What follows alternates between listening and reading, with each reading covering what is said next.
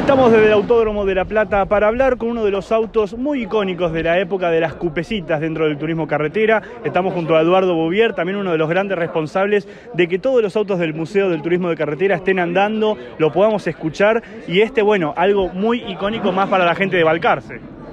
Bueno, el auto es el de Bordeaux, que hizo Toto Fangio, y estaba acá en el museo. eh, lo acomodamos un poco y, y bueno, ahora lo sacamos para, para andar en, lo- en- en- en los días que hay mucha gente, a veces hay compromiso con alguna empresa y, y le damos la, la oportunidad de andar en un auto eh, que tiene historia. Exactamente, que era más conocida como la Colorada de Bordeaux. Sí, exactamente. La coloradita de Bordeaux. Y nosotros íbamos a verla a la, a la ruta cuando recién empezó y nos parecía que era una nave espacial en esa época, porque había cambiado la cola, la trompa. Tiene la trompa esta que ya es moderna, que antes usaban otro tipo de trompa mucho más alta, el auto es, mucho más bajo. Tiene motor Chevrolet. Este, y bueno, es un placer manejarla. Eh, siempre hay algún piloto que todavía está en actividad que, que la maneja como si fuera de carrera y se la aguanta todavía. Sí, porque además es un auto que nada que ver a los autos ahora modernos, obviamente, caja en H, eh, otra motorización, otro todo. Eh, y como vos bien me recordabas, eh, cuando en su momento la veías, que lo veías como una nave espacial, pero porque era el cambio más abrupto que se podían ver dentro de las cupecitas. Y la- la- los autos, la Coupé Ford y Chevrolet tenían la única modificación que tenía era la trompa, un poquito. Después empezaron a bajarla, empezaron a embutir la carrocería en el chasis, se hicieron más bajas. Claro, y las esto, de antes eran más altas también. Claro, esto tiene el chasis embutido y fue uno de los primeros.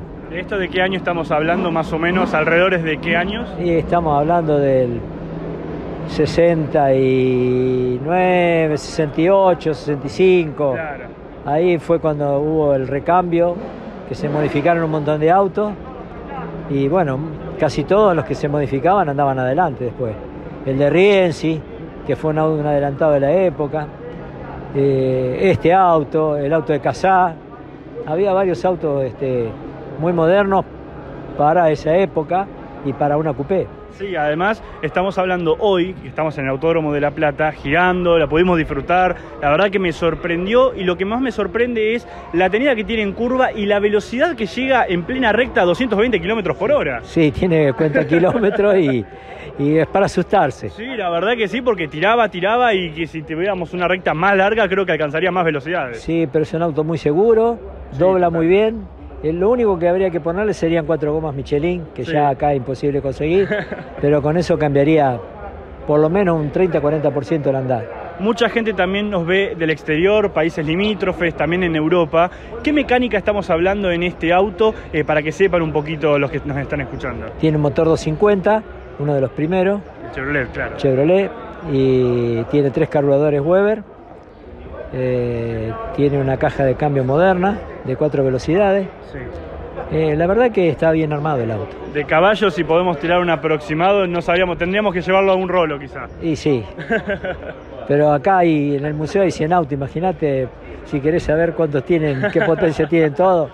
algunos sabemos porque lo llevamos a hacer, una prueba y bueno, ya algunos lo tenemos eh, sabemos más o menos qué potencia tiene. Comentarle también a la gente que cada vez que hay una fecha acá en el Autódromo de La Plata, de cualquier categoría nacional o zonal, eh, tienen la posibilidad de ver algo que es muy histórico acá en Argentina, que son la gran mayoría de autos campeones de turismo carretera y algunos especiales. Los sábados, eh, si hay carrera, está abierto a la mañana y a la tarde. Exacto. Así que es gratis, hay 100 autos, hay para ver autos campeones de todas las categorías. Un avión de Malvinas. Hay un avión de Malvinas y los autos están, algunos están muy lindos. Ah, este, los campeones de la última época están casi todos. Claro.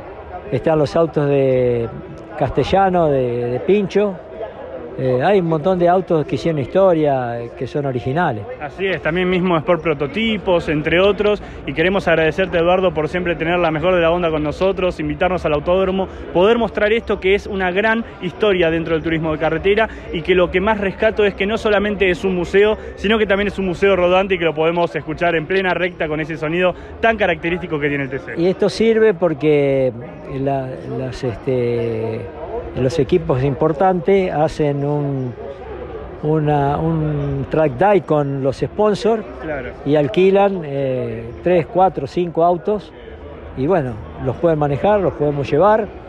Eh, si, tiene, si hay algún corredor en el equipo que estás, no hay problema que lo lleve el corredor y que también la gente pueda disfrutar el apasionado del turismo de carretera y poder subirse a uno. Hoy estamos de las 8 de la mañana, son las 3 de la tarde y, no paramos todo el día. Así es, así que muchísimas gracias Eduardo. Esto fue con ustedes una nueva nota de a toda velocidad desde el Autódromo de La Plata con la coloradita de Bordeu.